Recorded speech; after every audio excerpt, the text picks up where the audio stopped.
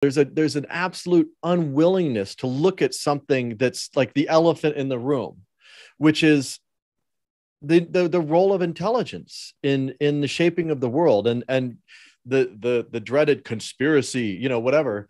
Uh but you know in spite of like mountains and mountains of evidence you know people especially you know professional people or people within political parties that that uh, uh, align with a, a, any political party have this like obstinate unwillingness to actually look at the overwhelming evidence that there is there are there are these these forces behind the scenes that are doing unbelievably unethical things to shape reality and shape the world and shape our understanding of it. And doing political assassinations flipping through your book i noticed you mentioned patrice lumumba who yes. you know that assassination reverberates to today. That's right. I mean today. look at what's going on in the congo is utterly devastating even now. And and you know there that was the the hope you know what's uh, another book i have there the killing hope uh mm-hmm, by mm-hmm. i forgot i forgot his name